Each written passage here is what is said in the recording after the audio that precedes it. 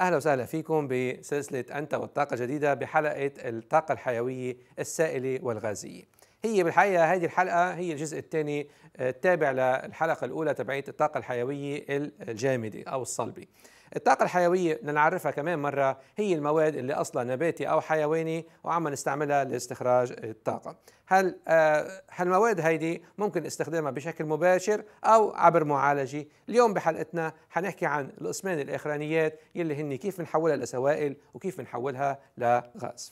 في أنواع الطاقة الحيوية السائلة في عندنا ثلاث أنواع بالحقيقة نحن ممكن نستفيد منهم. اللي هو أول شيء الطاقة النباتية آه المباشرة أو الزيوت النباتية المباشرة بنستعملها أو زيوت معالجة لإنتاج مادة البايوديزل يا أما زيوت نباتية أو مواد نباتية معالجة لإنتاج الإثانول. حنحكي عن الثلاثة هدول مع بعض. بالنسبة للزيوت النباتية الخام بحب أذكركم بخبرية يمكن الكل ناس كثير ما بتعرف آه عنها. بالحقيقة أول سيارة تصنعت هي مشيت على زيت الفستق. لأخذ العلم آه ما كان في ديزل هذيك الأيام واستعملوا الزيت مباشرة لاستعمال لتمشي هالسيارة. في عنا كمان موضوع الحرق المباشر. في زيوت كثير كانت تستعمل للحرق وبعد لحديت اليوم نستعملها بالحرق المباشر يا أما للتسخين يا أما للإضاءة. بس هذا الحكي طبعا بينطبق على الزيوت النباتية. ما نروح بكرة نجيب زيت السيارة ونحرقه لأنه هذا بيخرب الدنيا. فالمطلوب إنه نحن نستعمل فقط الزيوت النباتية. وفي عندنا إمكانية نستعمل زيوت جديدة أو زيوت مستعملة. يعني حتى ورا ما نخلص زيت القلي للبطاطا تبعيتنا بنجيب الزيتات فينا كمان هدول نقدر نستعملهم. هلا بدنا ننتبه على شغلة إنه في عندنا مادة اسمها مادة البايوديزل يلي هي مستخرجها من النباتات. بناخذها من الزيوت الجديدة أو المستعملة بنعالجها معالجة كيميائية بسيطة. ليش بدنا نشدد على كلمة معالجة كيميائية بسيطة؟ لأنه ما بدي حدا بكرة يمسك الزيتات ويحطهم بخزان سيارة المازوت ويقول لي أنت قلت لي تعمل هيك لأنه هذا الشيء غير سليم ما هذا المطلوب. هالزيوت هذه لازم تتعالج كيميائيا أول شيء لتتحول لمادة جديدة اسمها بايوديزل هالبايوديزل ممكن استخدامه كبديل للمازوت أو كمزيج مع المازوت؟ ممكن نمزجه 5% أو 20% أو حتى 100% يستخدم بالسيارة. وفي له خصائص ولزوجه بتشبه مقومات المازوت وبالتالي السيارة اللي عم تمشي على المازوت ما بتحس بهالفرق هيدا. وحتى ممكن موتير الكهرباء اللي بيمشي على المازوت يستفيد آه، منه. بالنسبة لإنتاج البايوديزل مثل ما شايفين على الصورة هون نحن من سنة 2002 لسنة 2008 صار في عندنا نمو كثير كبير لكمية الديزل المنتجة والقدرة الإنتاجية بشكل كامل. ونحن صرنا فوق ال 11 مليون طن فينا نصنع من البايوديزل بالعالم و actually تصنعوا هدول وعم ينباعوا. كمثل على هالموضوع هذا حنحكي عن البايوديزل بالصين. حأعطيك آه، مثال على هالموضوع هذا في بالصين عم يصنعوا نباتات من نباتات الجتروفا هذه النباتات هي نباتات سامة. هلأ واحد بيقول ليش بدي ازرع نباتات سامة؟ هي نباتات سامة مفيدة لنا لأنه ما في حيوانات بتاكلها والحشرات ما كثير بترغبها وبالتالي هالنبته هذه بتزرعها وبتطلع لحالها. هذا الزيت كمان ما بيتاكل فما في حدا حيجي يسرق لك زيتاتك. آه، هالنبتة بتعوز بس 100 لتر بالسنة لتطلع يلي هي كمية كتير بسيطة. وكمان آه، عم يطوروا نباتات هجينة بتعطينا كميات أكبر من الزيت بتوصل للطن أو طن ونص من البايوديزل بالهكتار الواحد. قرروا بالصين يزرعوا مساحة بتوازي خمس مساحة لبنان بس من هالنبتة هيدي. بس لتعرفوا فكرة عن هالموضوع هيدا. وخم 3000 مزارع حيشتغلوا بهالشغلة هاي.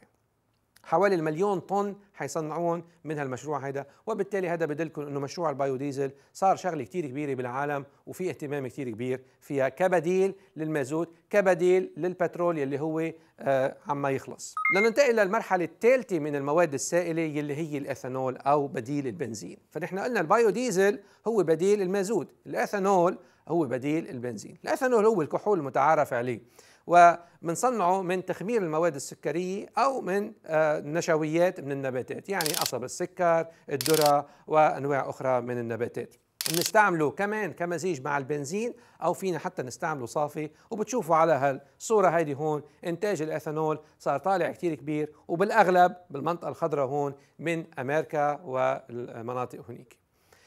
استعمال الميثانول. مين عم يستعمل الميثانول؟ وكيف عم نستعمل الميثانول؟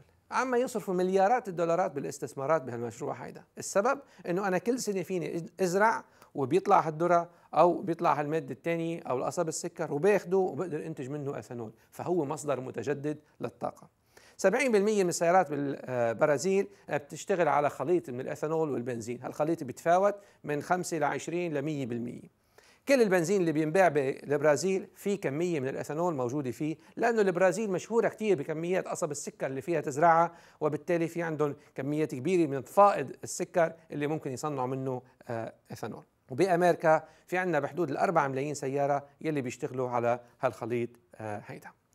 بالنسبة للوقود الحيوي السائل لما نحكي عن الوقود الحيوي السائل عم نحكي عن البيوديزل والأثانول مع بعض بشكل عام عم يكون معفي من الضرائب عم يكون بأوروبا قرروا إنه 5.7 يعني بحدود 6% من المواد السائلة اللي عم يستعملوها بالسيارات يكون مصدرها آه، نباتي. وبدهم يقرروا قرروا إنه يعملوها بحدود ال 10% بسنة 2020 ننتقل من المواد السائلة إلى المواد الغازية أو الغاز الحيوي أو البايوغاز بالحقيقة هو بينتج عن التخمر اللاهوائي آه، للمواد العضوية. يعني من دون ما يكون في عندنا أكسجين بالمنطقة بيتخمر هذا المواد العضوية وبتعطينا غاز. هالغاز بنسميه البايوغاز واللي هو بيحتوي بحدود 60% من غاز الميثان. غاز الميثان هو غاز قابل للحرق بيحترق بيعطينا حرارة أو هالحرارة بنستفيد فيها بشكل مباشر أو بنولد فيها كهرباء وبالتالي بيكون آه، أحد منتجي الطاقة البديلة. بالحقيقة أكثر من 7 ملايين مركز تخمير موجودين بالصين و3.5 مليون موجودين بالهند وهذا بفرجينا قديش هي شغلة كثير مهمة إنه نحن عم آه، نقدر نستفيد من هالغاز هيدا. وهون بالصورة بحب فرجيكم مركز كثير متواضع وبدائي بالهند عم يستخدموا فيه البايوغاز بياخذوا وسخ الحيوانات بيحطوه بيخلوه يتخمر بيطلع منه غاز وبيستفيدوا منه. وهون في عندنا مثل تاني بس هذا كبير ومتطور.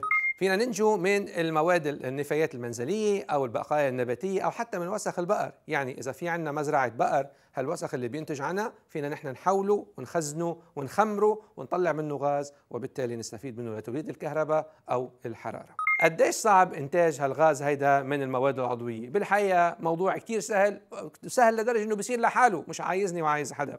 فاللي بيصير إنه هون مثلا في عندي مقال بالجريدة بفرجينا إنه صار حريق بمكب آه، نفايات وهالحريق كان نتيجة عبارة عن مش حريق عادي للنفايات إنما صار إنه طلع غاز من المكب هيدا وصار يحترق الغاز جربوا يطفوه ما مشي الحال بالمي العادية اضطروا إنه يستعملوا وسائل أخرى وهذا بفرجينا قديش هي شغلة سهلة. فنحن إذا بنفكر شو عندنا مكبات نفايات إن كان بطرابلس ولا بالنعمه ولا بصيدا كل هدول ممكن استخدامهم لإنتاج الغاز ولانتاج الكهرباء منهم.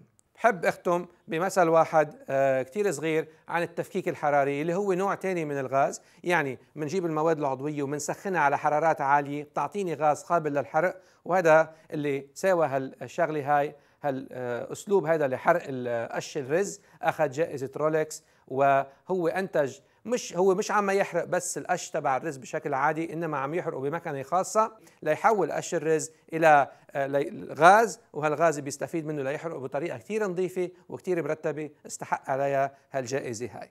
بنهاية هالحلقة بحب أشكركم إنه تابعتوا معنا الطاقة الحيوية السائلة والغازية من سلسلة أنت والطاقة الجديدة.